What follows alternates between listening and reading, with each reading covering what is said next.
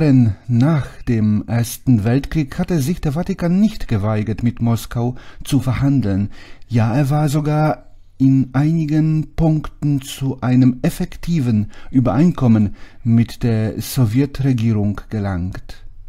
Warum weigerte er sich jetzt so hartnäckig, die sowjetischen Verhandlungsangebote anzunehmen? Gab es andere Faktoren, die vielleicht schwerer wiegende Hinderungsgründe waren als die kommunistische Ideologie und Praxis und den Vatikan bisher abgehalten hatten, mit Stalin eine zufriedenstellende Übereinkunft zu treffen? Ja, es gab einen solchen Faktor, die wiedererstandene, kämpferische orthodoxe Kirche. Der Vatikan hatte die Wiedergeburt der orthodoxen Kirche in Russland aufmerksam verfolgt.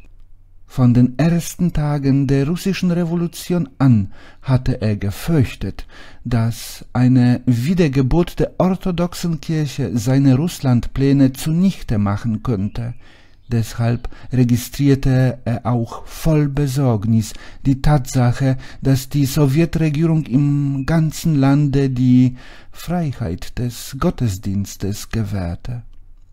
Er erkannte, dass diese Freiheit die Wiedergeburt seines alten Gegners, der orthodoxen Kirche, zu Folge haben würde. Ein Dekret der Sowjetregierung vom 23. Januar 1918 gewährte allen Bürger Sowjetrusslands die Freiheit des Gewissens, des Gottesdienstes und der antireligiösen Propaganda. Durch das gleiche Dekret wurde die Trennung von Kirche und Staat vollzogen, alle religiösen Organisationen wurden privaten Vereinigungen gleichgestellt, dem einzelnen Bürger war es überlassen, sich zu einer Religion zu bekennen oder nicht. Das würde so gründlich praktiziert, dass in allen Personalunterlagen die Fragen nach der Religionszugehörigkeit gestrichen wurden. Der Artikel 124 der sowjetischen Verfassung lautet, Zitat, zum Zwecke der Gewährleistung der Gewissensfreiheit für die Bürger sind in der UdSSR die Kirche vom Staat und die Schule von der Kirche getrennt. Die Freiheit der Ausübung religiöser Kunsthandlungen und die Freiheit antireligiöser Propaganda wird allen Bürgern zuerkannt. Zitat Ende.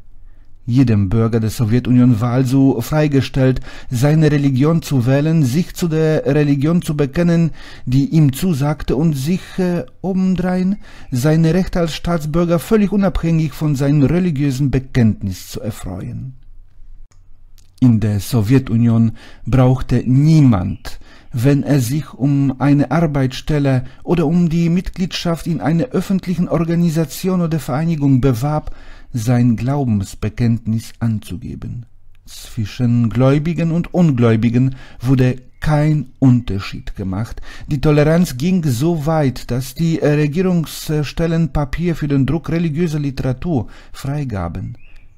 In den ersten Jahren nach der Revolution wirkte die Mehrheit der orthodoxen Geistlichen im Sinne der Restauration des zarischen Regimes. Infolgedessen kam es zu heftigen Auseinandersetzungen zwischen ihnen und den atheistischen Kräften, die in der orthodoxen Kirche ein Instrument des Obskurantismus sahen.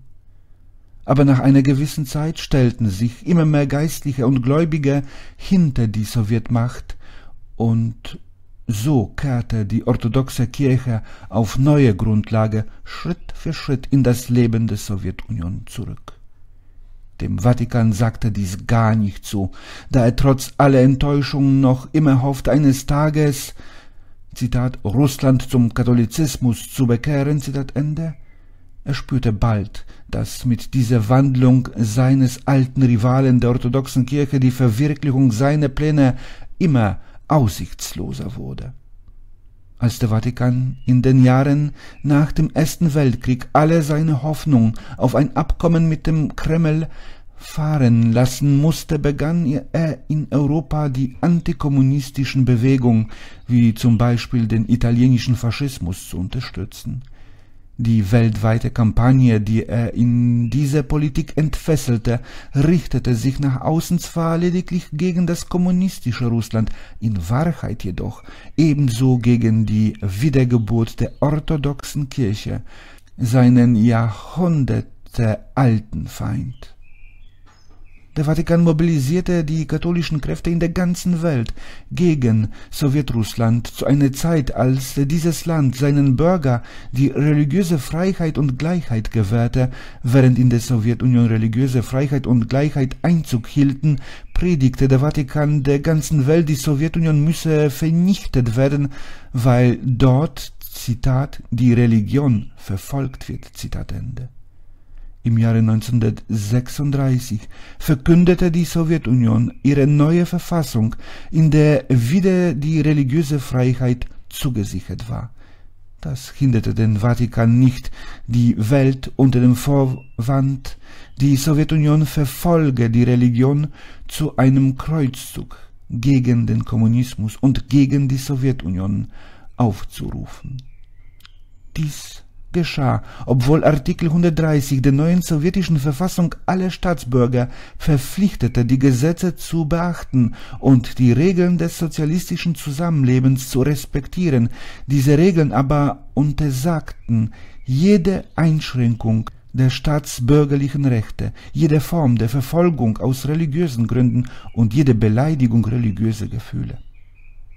Im sowjetischen Alltag spiegelte sich die religiöse Freiheit in zahlreichen Gottesdiensten, in der Veröffentlichung religiöser Zeitschriften und anderer religiöser Literatur, in der Arbeit der Priesterseminare und in anderen Erscheinungen des gesellschaftlichen Lebens wider als der Vatikan Europa in einen großen faschistischen Block verwandelte und die Hoffnung hegte, mit Hilfe des Faschismus den ganzen Kontinent zu regieren und sein Gesicht zu bestimmen, gab er vor, seine Feindschaft gegen die Sowjetunion beruhe allein auf ihren politischen Lehren.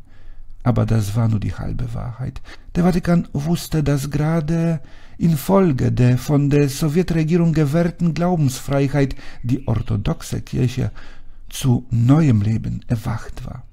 Er beschuldigte sogar die orthodoxe Kirche, sie habe sich mit der weltlichen Macht des Sowjets verbunden, um ihren religiösen Einfluss auszuweiten.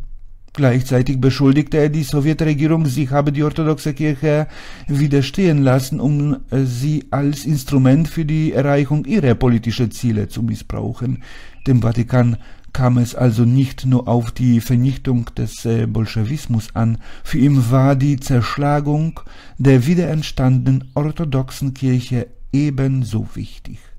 Deshalb sah der Handel zwischen Hitler und dem Vatikan, von dem wir bereits sprachen, unter anderem vor, in den von den Nazis besetzten sowjetischen Gebieten die orthodoxe Kirche durch die römisch-katholische Kirche zu ersetzen. Hitler hatte lediglich den Vorbehalt gemacht, dass die Bekehrung nur durch deutsche katholische Geistliche geschehen dürfe. Während die Verhandlungen mit äh, Hitler liefen, verstärkte der Vatikan seine antisowjetische Propaganda und reorganisierte die in Anführungsstrichen pro-Russland Organisation. Sie erhielt große Geldmittel, zahlreiche Missionspriester und Propagandaeinrichtungen. Alle Angehörigen der Organisation wurden aufgefordert, Zitat, sich für das große Missionswerk der Erlösung Russland bereit zu halten. Zitat Ende. Der Vatikan wartete fieberhaft auf den Tag, an dem die Tore der Sowjetunion sich ihm öffnen sollten. Um den Sieg der Nazi-Armeen zu sichern, instruierte er alle katholisch-faschistischen Regierungen, die hierzu allerdings keine Ermunterung bedurften, Nazi-Deutschland bei der Niederwerfung des in Anführungsstrichen bolschewistischen Ungeheuers aktiv zu unterstützen. Der Vatikan vermied zwar offiziell eine Kampagne gegen die Sowjetunion zu führen, da er die Reaktion der Katholiken in den Ländern der Alliierten fürchtete, aber inoffiziell setzte er alles daran, Hitler jede nur erdenkbare Hilfe zu gewähren. Auf Veranlassung des Vatikans bildeten zahlreiche katholisch-faschistische Länder oder Parteien antikommunistische Legionen für den Kampf an der Ostfront. An erster Stelle war hier die sogenannte Blaue Division Franco-Spaniens zu nennen, aber auch das katholische Portugal, die katholischen belgischen Rexisten, die katholischen französischen Faschisten, die niederländischen Quislinge und so weiter, entsandten Kontingente oder Gruppen von Freiwilligen. In dieser Zeit versuchte die Sowjetregierung wiederholt mit dem Vatikan über die Katholiken zu verhandeln, die 1939 infolge der Rückkehr eines Teils der Ukraine und Weißrussland zur Sowjetunion sowjetische Bürger geworden waren. Aber die abweisende Haltung des Vatikans ließ alle Bemühungen der Sowjetunion scheitern. Als Begründung seine Weigerung erklärte der Vatikan, dass, Zitat, der erneute Einfluss der orthodoxen Kirche neue Hindernisse in Polen auftürmt, da die orthodoxe Kirche die katholische Kirche in diesem Land verfolgt. Zitat Ende, Kardinal Hollande im März 1941. Der Kardinalstaatssekretär erklärte zur gleichen Zeit, Zitat, obwohl sich der Heilige Stuhl um das geistige und materielle Wohl der Katholiken in Polen große Sorgen macht, sieht er sich doch nicht imstande, mit Sowjetrussland zu einem Übereinkommen zu gelangen. Schuld daran ist die Wiedergeburt der orthodoxen Kirche. Diese Kirche hat nie aufgehört, sich gegen die katholische Kirche feindlich zu verhalten. Zitat Ende. Was veranlasste den Vatikan so plump über die orthodoxe Kirche herzuziehen? Er war von allem darüber erbost, dass die orthodoxe Kirche ihre Gläubigen zum Kampf gegen alle Formen des Faschismus aufrief vor dem Krieg hielt sich die orthodoxe Kirche, obwohl sie völlige religiöse Freiheit genoss, im Hintergrund. Erst mit dem Herannahen der Kriegsgefahr trat sie stärker hervor. Nach dem Überfall Hitlers spielte sie eine aktive Rolle bei der Formierung einer einheitlichen Front gegen die deutschen faschistischen Eindringlinge. So gelangte die orthodoxe Kirche wieder zu größerem Ansehen in der Sowjetunion und entwickelte sich rasch zu einer positiven Kraft in religiöser und äh, mittelbar auch in politischer Hinsicht, als die orthodoxe Kirche das sowjetische Volk zum Kampf gegen die faschistischen Feinde aufrief, zu denen nicht nur Hitler, sondern auch seine Verbündeten, die antikommunistischen Legionen Spaniens, Portugals, Italien, Frankreichs und andere Länder gehörten, betonte sie nachdrücklich, dass es sich bei den Legionen um katholische Legionen handle, die sich der Unterstützung des Vatikans erfreuen. Ihr Anliegen war also nicht nur patriotischer, sondern auch kirchlicher Art. Sie rief ihre Gläubigen nicht nur auf, das sowjetische Vaterland zu verteidigen, sondern auch ihre religiösen Feinde, das heißt diejenigen Katholiken, die sich gegen die Sowjetunion verschworen hatten, zu vernichten. Die Stimme der orthodoxen Kirche wurde nicht nur in der Sowjetunion gehört, sondern auch im Ausland. Niemand hörte sie lauter als der Vatikan. Die orthodoxe Kirche entwickelte sich unter der Sowjetmacht zu einer mächtigen religiösen Institution, die eng mit der Regierung zusammenarbeitete.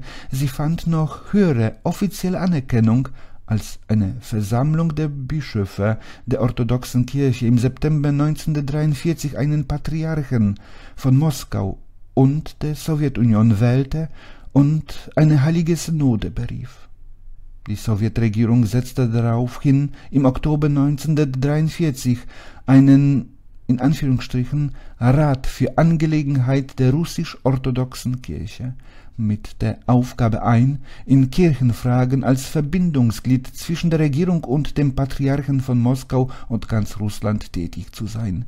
Den Mitgliedern und Beauftragten dieses Rates oblag es, in allen Republiken autonomen Gebieten und Bezirken als Verbindungsstellen zwischen den örtlichen Behörden und den religiösen Körperschaften zu wirken.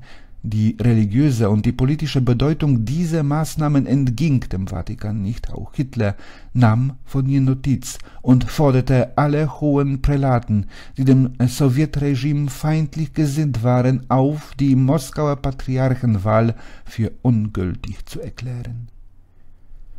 30 bis 50 Prälaten die meist aus äh, dem von den Nazis besetzten Gebieten Europas versammelten sich, angeführt von dem Metropoliten von äh, Großdeutschland, Dr. Serafin Lade, der von Anfang an Hitler gedient hatte, in Wien, um über die Patriarchenwahl in Moskau zu diskutieren. Sie erklärten die Wahl und die von der Moskauer Synode ausgesprochene Exkommunikation aller orthodoxen Priester, die sich äh, feindlich gegen das Sowjetland verhielten, für ungültig. Gleichzeitig verkündeten sie, dass der Bolschewismus mit dem Christentum nicht zu vereinen ist. Im Jahre 1944 berief die Sowjetregierung einen weiteren Rat dessen Aufgabe es war, sich mit den Angelegenheiten der anderen Religionsgemeinschaften in der Sowjetunion, den griechisch-katholischen Christen, den Mohammedanern, den Juden, den evangelischen und auch den römisch-katholischen Christen zu befassen. Die neue russisch-orthodoxe Kirche errang unter den anderen religiösen Vereinigungen allmählich eine Vorrangstellung in allen Fragen von nationaler Bedeutung. Viele orthodoxe Geistliche erhielten staatliche Auszeichnungen, die Kirche veranstaltete große politisch-religiöse Zeremonien, öffentliche Gebete für den Schutz der Sowjetunion und für die Vernichtung der Feinde Russlands. Die russische Geistlichkeit wird nicht aufhören, für den Sieg der russischen Waffen zu beten, hieß es. Die Kirche versprach dem sowjetischen Vaterland die Unterstützung der Geistlichkeit, die russische Kirche wird mit all ihrer Kraft ihrem geliebten Vaterland in den schweren Tagen des Krieges ebenso dienen wie in den künftigen Tagen des Wohlstands. Um die Zusammenarbeit mit der orthodoxen Kirche noch enger zu gestalten, berief die Sowjetregierung 1944 den Vorsitzenden des Rates für die Angelegenheit der orthodoxen Kirche in den Rat der Volkskommissare.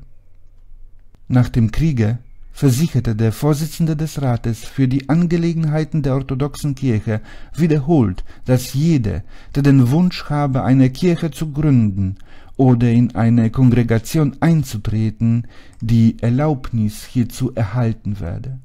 Neue Kirchen dürften eröffnet werden, sobald eine Gemeinde von mindestens zwanzig Gläubigen vorhanden sei.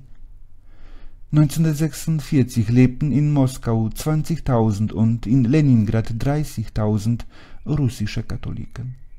Der orthodoxe Bischof Sergei erklärte im August 1946 in einer Rede unter anderem, Zitat, jeder, der in Russland Priester werden möchte, kann es werden. Niemand mischt sich da hinein. Die kommunistische Partei ist uns gegenüber sehr hilfsbereit. Zitat Ende obwohl oder vielleicht weil das Prinzip der völligen Trennung vom Staat und Kirche konsequent verwirklicht und eingehalten wurde, konnte sich die orthodoxe Kirche als äh, wahrhaft religiöse Institution entwickeln. Der, Metropo der Metropolit von Leningrad erklärte 1944 in einer Botschaft an die Gläubigen, Zitat, Unsere orthodoxe Kirche hat immer das Schicksal des Volkes geteilt. Sie hat mit ihm alle Prüfungen getragen und sich seine Erfolge erfreut. Auch heute wird sie ihr Volk nicht im Stich lassen. Zitat Ende.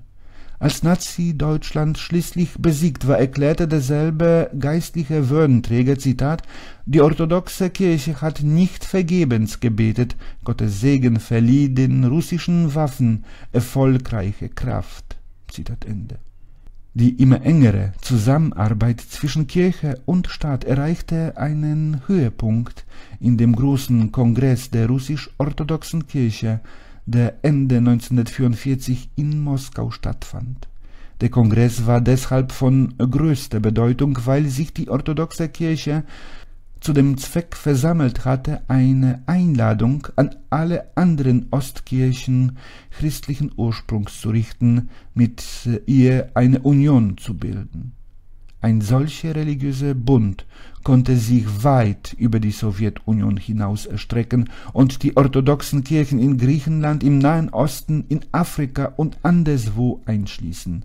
An dem Kongress nahmen 39 Bischöfe teil. Sie schickten Einladungen zur Bildung einer großen religiösen Union an den ökumenischen Patriarchen und Erzbischof von Konstantinopel, an Alexander III., den Patriarchen von Antiochien und dem ganzen Osten, an Christophoros, den Patriarchen von Alexandria, an Timotheus, den Patriarchen von Jerusalem und an Callistratus, den Katholikos von Georgien. Hinter der erneuerten Kraft der wieder erstandenen Moskauer Synode wurde das Bestreben sichtbar, ihre traditionelle Rolle als Beschützerin der orthodoxen Christenheit im Nahen Osten und in Osteuropa wiederherzustellen. Bereits im darauf folgenden Jahre 1945 wies diese Politik die ersten Erfolge auf. Eine Delegation des ruthenischen Klerus übergab in Moskau einen Brief des Erzbischofs von Tschust, in dem diese bat, sich der Obhut des Moskauer Patriarchen anvertrauen zu dürfen. Die ruthenische Kirche hatte bisher dem serbischen Patriarchat unterstanden. Diese erklärte sich mit dem Übergang der ruthenischen Kirche zum Moskauer Patriarchat einverstanden und unterstellte sich selbst ebenfalls dem Moskauer Patriarchen. Die polnisch-orthodoxe Kirche äußerte denselben Wunsch und entsandte den polnisch-orthodoxen Metropoliten von Lwow nach Moskau. Dies war durchaus nicht selbstverständlich, denn die polnisch-orthodoxe Kirche war bislang eine selbstständige Körperschaft mit einem eigenen Patriarchen gewesen. Auch das ökumenische Patriarchat von, kan von Konstantinopel entsandte eine Delegation nach Moskau. Man einigte sich, den Moskauer Patriarchen als Oberhaupt der religiösen Union anzuerkennen. Nach dem Kriege unterstellten sich weitere bis dahin autonome Kirchen der russisch-orthodoxen Kirche. Das Konzil der unierten Kirche mit ruthenischen Ritus erklärte in einer Botschaft an Stalin seine Entschlossenheit, mit dem Heiligen Stuhl zu brechen. Meldung vom Radio Moskau am 8. März 1946. Der Vatikan beschuldigte daraufhin Moskau in einer Stellungnahme der Heiligen Kongregation der Ostkirchen vom 18. März 1946, dass es diese Kirchen zwinge, sich mit äh, der orthodoxen Kirche zu vereinen. Die Verbindung zwischen der ruthenischen Kirche und Rom bestand seit dem Jahre 1596. Die Moskauer Heilige Synode entsandte als Antwort auf diese Beschuldigung im Juni 1946 zwei orthodoxe Bischöfe, Makarius und Nikolaus, in die westliche Ukraine. Später beschäftigte sich die orthodoxe Kirche vor allem damit, Verbindung mit anderen religiösen Körperschaften, namentlich mit äh, dem großen protestantischen Kirchen aufzunehmen. So wurden zum Beispiel zahlreiche englische protestantische Geistliche nach Moskau eingeladen und die Führer der orthodoxen Kirche statteten 1945 der protestantischen Kirche Englands einen Besuch ab.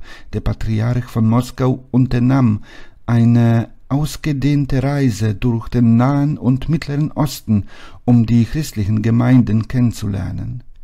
Im Juni 1945 erklärte er in Kairo, Zitat, Mein Besuch dient dem Zweck, die religiösen Bindungen zu erneuern, die seit je unter den orthodoxen Kirchen bestanden. Zitat Ende. Wenige Monate zuvor, im Februar 1945, hatte in Moskau die russisch-orthodoxe Kirchenversammlung unter der Leitung des Metropoliten von Leningrad und Nowogród getagt, um einen neuen Patriarchen zu wählen. 45 Delegierte aus allen Gebieten der Sowjetunion waren anwesend zu ihnen gesellten sich Vertreter der orthodoxen Kirche aus der ganzen Welt, zum Beispiel Metropolit Benjamin von New York, Alexander III., Patriarch von Antiochien, Erzbischof Benjamin, Patriarch von Konstantinopel, Christophorus, Patriarch von Alexandria und Timotheus, Patriarch von Jerusalem. Der Vatikan beobachtete den immer stärkeren Einfluss der wiedererstandenen orthodoxen Kirche mit großem Missfallen.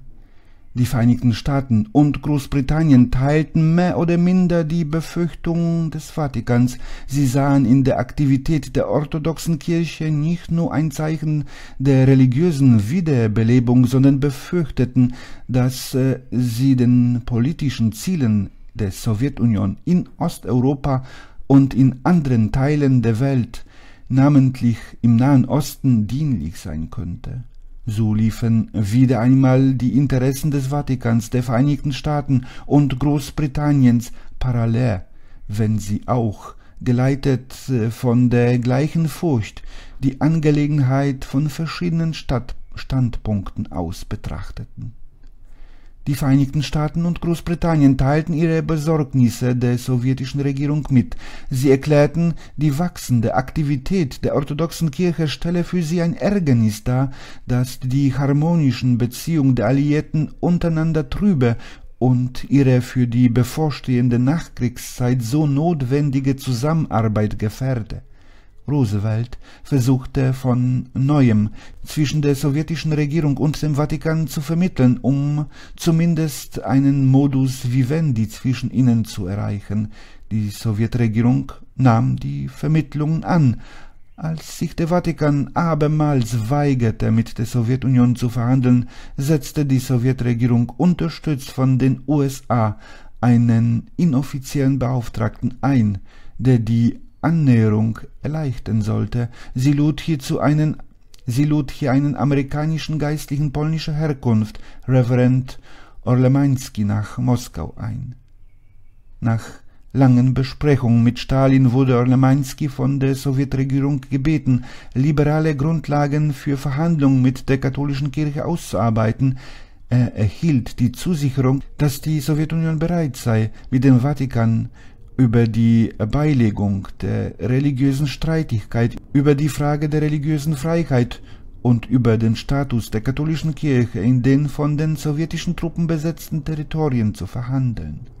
Olemański kehrte mit diesen Vorschlägen nach Amerika zurück und übermittelte sie den State Department. Präsident Roosevelt bat den Papst, diesem Angebot zuzustimmen, in katholischen Kreisen wurden Hoffnungen laut, dass es vielleicht doch noch zu einer Einigung komme. Einige katholische Zeitungen schrieben trotz ihrer notorischen antisowjetischen Einstellung, dass es für den Vatikan und die Sowjetregierung ungeachtet alle Gegensätze Möglichkeiten der Zusammenarbeit gebe, ohne dass eine der beiden Partner dadurch seine eigenen Interessen gefährde. So schrieb Universe am 18. August 1944, Zitat, man kann als sicher annehmen, dass der Heilige Stuhl, wo immer eine katholische Gemeinde in einem beliebigen Land existiert, die Herstellung entsprechender Beziehung anstrebt und sich bemüht, Vereinbarungen zu treffen, die die Wahrung der religiösen und materiellen Interessen der Gläubigen garantieren. Dies geschieht gewöhnlich unabhängig von dem Charakter des dort herrschenden Regimes und verpflichtet den Heiligen Vater nicht, das betreffende Regime anzuerkennen. Zitat Ende. Und an anderer Stelle, Zitat, Wir haben deshalb immer betont, dass die unabänderliche Verurteilung des atheistischen Kommunismus Rom keineswegs zwingt, katholische Gläubige im Stich zu lassen, die schutzlos der Sowjetunion einverleibt äh, wurden. Zitat Ende. Aber der Papst weigerte sich von neuem. Er wies alle Angebote zurück und enthob Reverend Orlemanski alle priesterlichen Ämter, eine Maßnahme, die sowohl von der katholischen Welt als auch von Washington nur als ein Zitat Schlag gegen Stalins Friedensangebote Zitat Ende ausgelegt werden konnte. Mit dem weiteren Vormarsch der sowjetischen Armeen wurde das Problem eine Einigung zwischen Moskau und dem Vatikan immer aktueller. Präsident Roosevelt unternahm daher einen neuen Versuch, den Vatikan zu einer Änderung seiner Haltung zu bewegen. Im März 1945, knapp zwei Monate vor dem endgültigen Zusammenbruch Hitlerdeutschlands, entsandte er seinen persönlichen Botschafter Flynn über Moskau nach Rom. Mr. Flynn brachte aus Moskau ein erneutes Friedensangebot Stalins mit, stieß aber beim Vatikan wieder auf Ablehnung. Für die Sowjetregierung gab es jetzt keinen Zweifel mehr, dass der Vatikan von grenzenloser Feindschaft gegen die Sowjetunion erfüllt war. Da die katholische Kirche zur gleichen Zeit das äh, Wiedererstehen halbfaschistischer Bewegung zum Beispiel in Italien förderte, um sich für die Kämpfe der Nachkriegszeit zu wappnen, gab ihr die Sowjetregierung deutlich zu verstehen, dass sie die antirömischen Pläne der orthodoxen Kirche billige. Kirche und Staat nahmen gemeinsam den Kampf gegen die reaktionären Machenschaften ihrer politischen, religiösen und geistlichen Feinde auf. Diese Politik trat noch deutlicher in Erscheinung, als die orthodoxe Kirche in der Zeit nach 1944 begann, dem Vatikan seine Feindschaft gegen die Sowjetunion und gegen die orthodoxe Kirche vorzuhalten. Diese Angriffe zeigten, dass sich die orthodoxe Kirche stark und innerlich gefestigt fühlte. Sie fielen auch zeitlich oft mit den Vorwürfen zusammen, die Partei und Regierung der Sowjetunion in ihren offiziellen Organen Pravda und Izvestia gegen den Vatikan wegen seiner faschistischen und antisowjetischen Politik erhoben So veröffentlichte der Patriarch der russisch-orthodoxen Kirche im Januar und Februar 1944 anlässlich eines Besuches hohe geistliche Würdenträger eine Erklärung, in der er den Vatikan beschuldigte, Nazi-Deutschland fortwährend unterstützt zu haben. In der Erklärung, die sich nicht nur an die Völker der Sowjetunion, sondern an alle Menschen der Welt richtete, hieß es, Zitat Angesichts der gegenwärtigen internationalen Situation erheben wir unsere Stimme gegen alle, namentlich gegen den Vatikan, die sich bemühen, Hitler Deutschland von der Verantwortung für seine Verbrechen freizusprechen und für die Hitlerleute um Gnade zu flehen. Die Betreffenden möchten dadurch die faschistische, menschenverachtende antichristlichen Lehre und ihre Propagandisten in die Nachkriegszeit hinüberretten. Zitat Ende. Veröffentlicht in sowjetischen Zeitungen in der ersten Februarwoche 1944. Diese Vorwürfe der orthodoxen Kirche wurden kurz darauf auch von den Istvestia erhoben, Zitat, der Vatikan war stets ein verlässlicher Helfer des Faschismus. Die unrühmliche Rolle, die er bei Hitlers und Mussolinis spanischen Abenteuer spielte, ist hinlänglich bekannt. Die Welt hat äh, auch noch nicht vergessen, dass er sich still verhielt, als Italien im Juni 1940 Frankreich angriff. Franco ist der Liebling des Vatikans und der Vatikan träumt von einem Nachkriegseuropa, das nach dem Vorbild des klerikalen Franco-Regimes eingerichtet ist. Zitat Ende. Wenige Monate später fuhr die orthodoxe Kirche schwereres Geschütz gegen den Vatikan auf. Das Oberhaupt der orthodoxen Kirche, Patriarch Sergei, bestritt in einer im Moskau Bulletin vom April 1944 veröffentlichten Erklärung die Autorität des Papstes in religiösen Fragen und behauptete, der Papst habe kein Recht, sich als Nachfolger Christi auszugeben.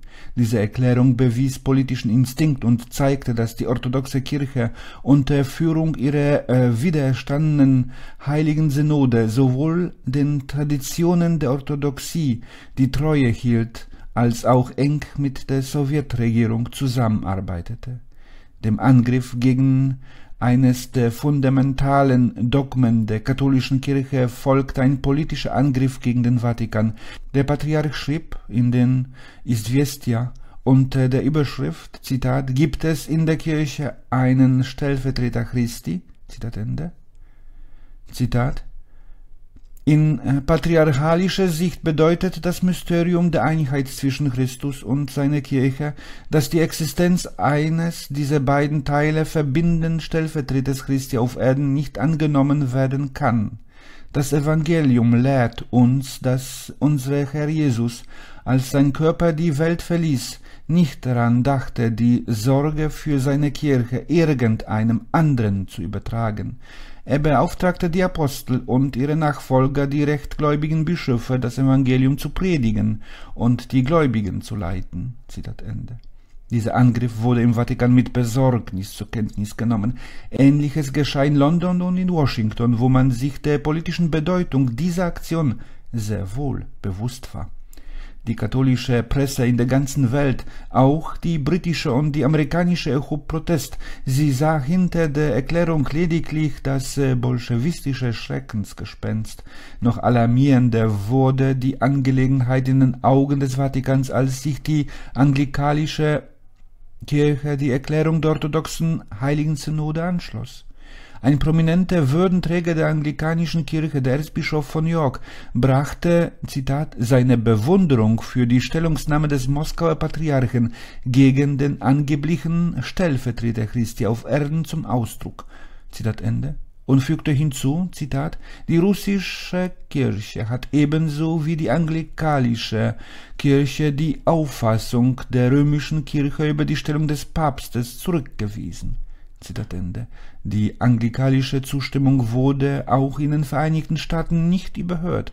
In einer Antwort auf die bereits erwähnten Vorwürfe des Patriarchen, dass der Vatikan die faschistische Lehre und ihre Propagandisten in die Nachkriegszeit hinüberretten wolle, erklärte der Observatore Romano, Zitat, der Papst ist der universelle Vater. Er verkündete am 12. Juni 1939, wir haben das Russland von gestern, von heute und von morgen vor Augen, jenes Russland, für das wir niemals aufhören werden zu beten, das wir in unsere Gebete einschließen und an das wir unbeirrbar glauben.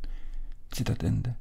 Gelegentlich eine Privataudienz nahm der Papst auf die Angriffe der Sowjetunion und der orthodoxen Kirche gegen den Vatikan Bezug und sagte, Zitat, es gibt niemanden, der in dieser Angelegenheit nicht einen der unheilvollsten Schatten sieht, der in dem gegenwärtigen Konflikt um das künftige Schicksal der Zivilisation heraufbeschwören würde. Zitat Ende. Der amtierende Kardinalstaatssekretär erklärt am 28. April 1945 zu den Beziehungen zwischen dem Vatikan und der orthodoxen Kirche, Zitat, wir müssen um Gottes Hilfe bitten in dieser sich überstürzenden Zeit ein Ereignis, vor allem würde gesunde Hoffnung für die Erzielung einer dauerhaften Lösung der Schwierigkeiten, in denen sich die heutige Welt befindet, wecken. Die Rückkehr Russland zum Glauben. Zitat Ende. Fußnote In den ersten Jahren nach dem Zweiten Weltkrieg äußerte die Kirche offen, dass es ihr Ziel sei, Russland zum Katholizismus zu bekehren. Die katholische Hierarchie versuchte der aufgeklärten Welt einzureden, dass die Gefahr eines neuen Krieges nur durch eine Bekehrung Russlands gebannt werden könne. Zitat ein Mittel allein, so scheint es, kann uns vor dem Untergang bewahren und den Nationen einen dauerhaften Frieden schenken. Die Bekehrung Russland zum Glauben. Zitat Ende. Fastenbrief des Erzbischofs MacDonald von St. Andrew und Edinburgh, März 1946. Wenige Wochen zuvor war Präsident Roosevelt gestorben. Eine der Folgen seines Todes war, dass auch die letzten noch bestehenden Verbindungen zwischen dem Papst und Stalin rasch zerrissen. Das polnische Problem wurde immer komplizierter. Die Sowjetregierung unterstützte die provisorische polnische Regierung in Lublin und nicht die reaktionäre katholische Regierung in London, deren Tätigkeit, das stellte sich einige Monate nach Kriegsende heraus, vor allem darauf gerichtet war, alle politischen Kräfte in Polen zu bekämpfen, die sich für ein gutes Einvernehmen und die Herstellung freundschaftlicher Beziehung mit der Sowjetunion einsetzten. Großbritannien und die Vereinigten Staaten erkannten nach einigem zögern trotz der Proteste des Vatikans die neue polnische Regierung an und gaben damit das Exilkabinett in London preis. Dies wandte sich darauf in aller Öffentlichkeit an den Papst und bat ihm um ein neues Asyl im französisch-katholischen Teil Kanadas oder im katholischen Irland, von wo aus die Wühlarbeit gegen Polen fortgesetzt werden sollte. Der Papst seine Kardinäle und Bischöfe lamentierten laut über den neuen Wühlkirakt Moskaus und über die neuerliche Ungerechtigkeit, mit der man nach ihrer Ansicht das katholische Polen behandelte.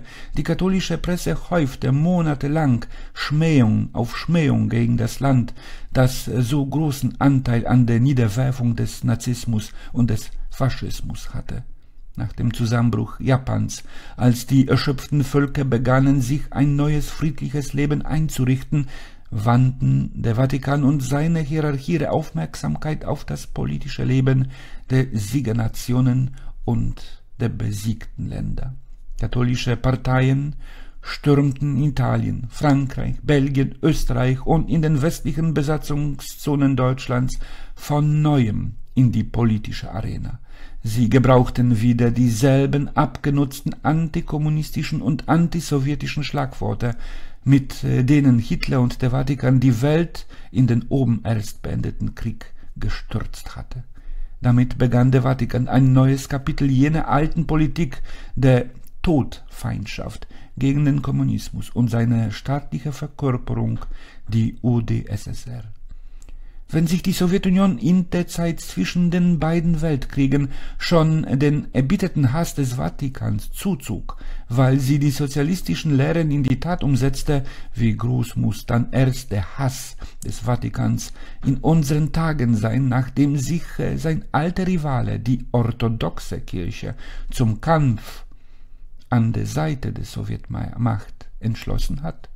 Und wenn die katholische Kirche durch ihre unablässigen Anstrengungen in der Lage war, einen mächtigen sozialen und politischen Strom gegen das Rote Russland zu lenken, als es noch verhältnismäßig schwach und von der kapitalistischen Welt verachtet war und für sie lediglich die Verkörperung eines feindlichen äh, Wirtschaftssystems darstellte, was wird sie dann erst gegen ein rotes Russland in den Kampf zu werfen versuchen, das aus dem Zweiten Weltkrieg als Sieger und als entscheidende Weltmacht hervorgegangen ist und bei allen Völkern erheblich an Autorität gewonnen hat? Die Antwort auf diese Frage wurde bereits gegeben, als der Vatikan durch seine Intrigen den Sturz Mussolinis herbeiführte. Sie wurde aber vor allem gegeben, als der Vatikan, wo immer es in wo immer es ihm in Europa möglich war, den politischen Katholizismus militanter und kämpferischer denn je widerstehen ließ um das künftige Leben der Nationen und der Welt nach seinen Vorstellungen zu gestalten. Aus diesen heute 1949 bereits vorliegenden Anzeichen muss man den Schluss ziehen, dass die Menschheit durch die Wiederaufnahme des jahrhundertealten Kampfes für die Katholisierung der Welt und durch die Fortsetzung des Kampfes gegen den Sozialismus in der großen Gefahr schwebt, in eine dritte Weltkatastrophe gestürzt zu werden.